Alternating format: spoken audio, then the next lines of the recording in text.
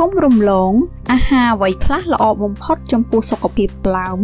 ថ្លើមគឺជាប្រព័ន្ធមុខងារដ៏សំខាន់មួយនៃរាងកាយហើយវាមានតួនាទីចម្បងក្នុងការកម្ចាត់ជាតិពុលនិងសារធាតុគីមីគ្រោះថ្នាក់ផ្សេងៗចេញពីរាងកាយក៏ដូចជាសរីរាង្គដទៃទៀត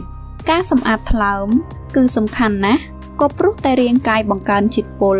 និងសារធាតុបង្កជំងឺមហារីកជាច្រើនប្រភេទដូច្នេះប្រសិនបើថ្លើមគ្មានសុខភាពល្អឬទទួលបានការសម្អាតទេនោះថាតើវាអាចកម្ចាត់ជាតិពុលឬសម្អាតកាកសំណល់ចេញពីរាងកាយបានយ៉ាងម៉េចទៅ អ្វីដែលយើងទទួលទានប្រចាំថ្ងៃគឺមានឥទ្ធិពលដោយផ្ទាល់លើសរីរាង្គខាងក្នុងរបស់យើងក៏ដូចជាថ្លើមខាងក្រោមនេះ យើងនឹងបង្ហាញឲ្យដឹងនៅអាហារល្អៗមួយចំនួន ដែលអ្នកគួរទទួលទានដើម្បីជំរុញមុខងារថ្លើមដំណើរការទូនាទីបានកាន់តែប្រសើរ1ក្រូចថ្លុងជាប្រភពដ៏ប្រសើរនៃវីតាមីន C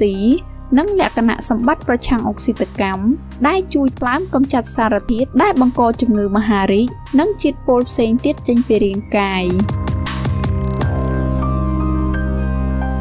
2 ខ្ទឹមសខ្ទឹមសមានផ្ទុកសម្បូរទៅដោយសារធាតុអាសេអ៊ីនដែលជួយសម្អាតថ្លើមបានយ៉ាងប្រសើរការទទួលទានខ្ទឹមសគឺជាមធ្យោបាយបែបធម្មជាតិល្អបំផុតដើម្បីសម្អាតថ្លើមខ្ទឹមសមានផ្ទុកនូវសារធាតុប្រឆាំងនឹងបាក់តេរី រួមទាំងអុកស៊ីដង់ដែលល្អចំពោះសុខភាពថ្លើមព្យាយាមទទួលទានខ្ទឹមសដោយបន្ថែមវាចូលទៅក្នុងរបបអាហារប្រចាំថ្ងៃរបស់អ្នក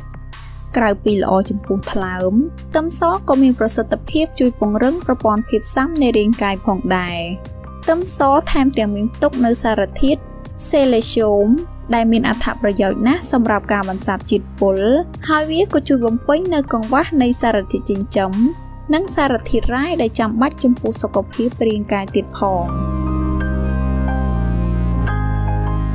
3បន្លែបៃតង ជាប្រភពដ៏ប្រសើរបំផុតនៃសារធាតុចិញ្ចឹមសំខាន់សំខាន់ដែលអ្នកគួររួមបញ្ចូលក្នុងរបបអាហារប្រចាំថ្ងៃសារធាតុប្រឆាំងអុកស៊ីតកម្មវីតាមីននិងជាតិរ៉ែក្នុងបន្លែបៃតង ជួយពង្រឹងប្រព័ន្ធភាពស៊ាំរាងកាយប្រយុទ្ធប្រឆាំងបាក់តេរីទប់ស្កាត់ការរលាកក្នុងថ្លើមព្រមទាំងមានប្រសិទ្ធភាពបន្សាបជាតិពុលផងដែរ4 មើមឆៃថៅក្រហមប្រសិនបើចង់បន្សាបជាតិពុលពីក្នុងរាងកាយកុំភ្លេចរួមបញ្ចូលមើមឆៃថៅក្រហមក្នុងរបបអាហារប្រចាំថ្ងៃមើមឆៃថៅក្រហម ជាប្រភពដ៏ល្អបំផុតមួយនៃសារធាតុបេតាការ៉ូទីនក៏ដូចជា flavonoid ដែលគ្រប់គ្រងមុខងារនៃខ្លាំងបន្សាបជាតិពុល